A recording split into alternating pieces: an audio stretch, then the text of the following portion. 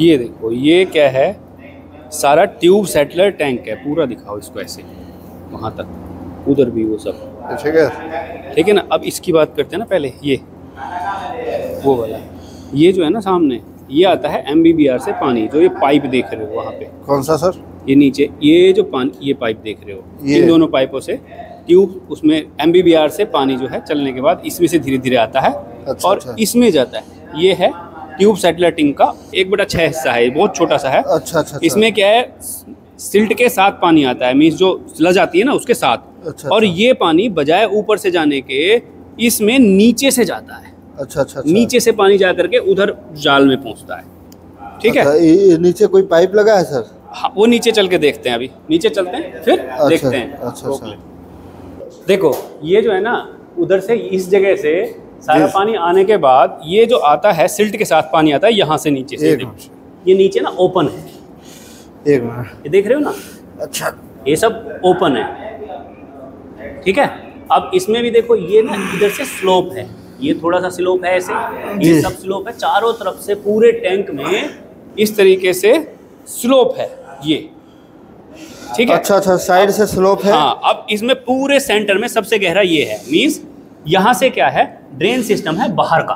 अच्छा अब अच्छा। होता क्या है कि जो स्लज इकट्ठी होती है हम इसके द्वारा इसको एक बार सब कर लेते हैं और पानी मार के साफ़ हो जाता है ये जिससे सिल्ट जो है नीचे इकट्ठी ना हो। अच्छा अच्छा जो अच्छा। सिल्ट इकट्ठी हो उसको यहाँ से बाहर करके और पंप के द्वारा इस वाले से बाहर पंप लगे हुए हैं पंप के द्वारा इसको अच्छा, स्लज होल्डिंग टैंक में पहुँचा एक मिनट वो वो दिख रहा है ना? ये जो है ये हाँ।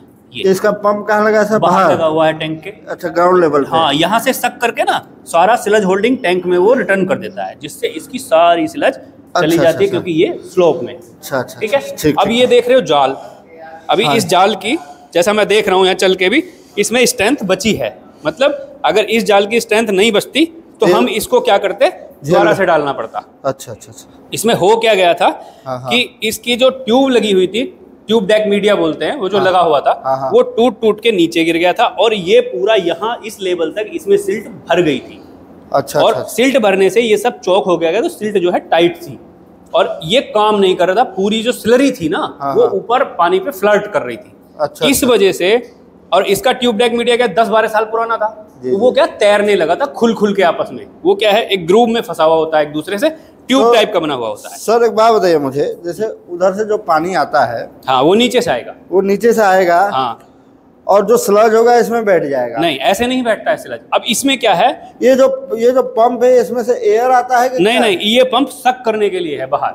अभी मैं पूरा प्रोसेस आपको अच्छा, बताता अच्छा, हूँ। अच्छा, इसमें क्या है? ट्यूब डेक मीडिया आएगा। मीडिया प्लास्टिक का होता है 120 बाई साढ़े सात सौ एम जी जी। ठीक है? 120 चौड़ाई साढ़े सात सौ एम उसको जोड़ के बनाएँगे। जी, मैं दिखाऊँगा वीडियो में बाद में। तो उसको क्या है? इस तरीके से स्लोप लग जाता है। इस तरीके से जैसे ये सीढ़ी लगी है इस तरीके से स्लोप लगेगा यहाँ से यहाँ। और इतने लेवल तक वो सारे में बिछ जाएगा।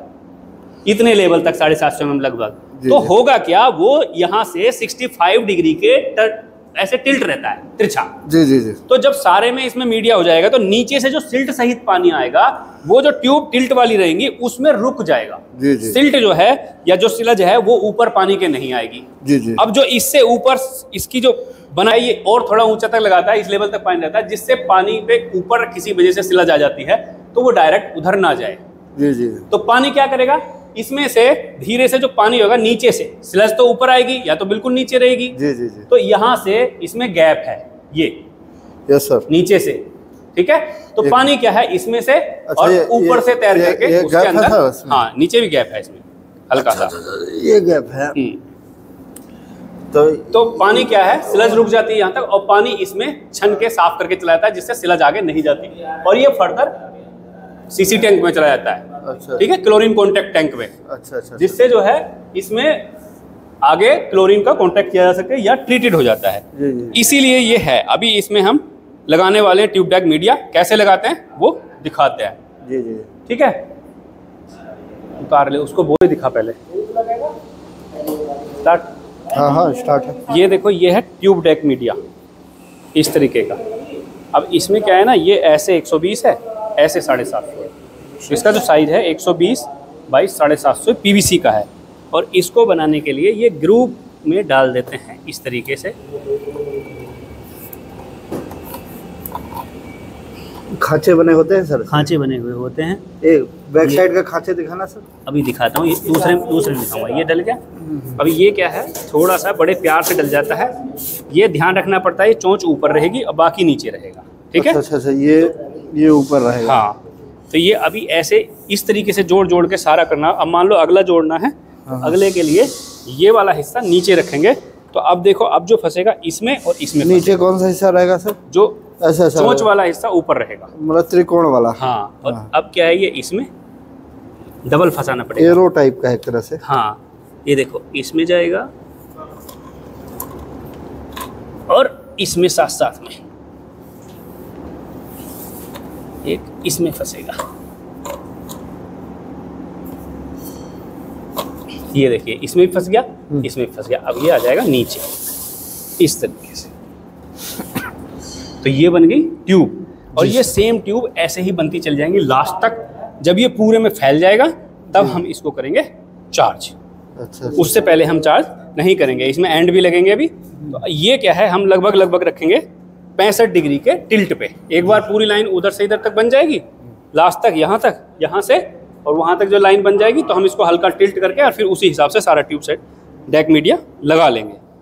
बस इतना ही इसमें होता है। ठीक है? ठीक।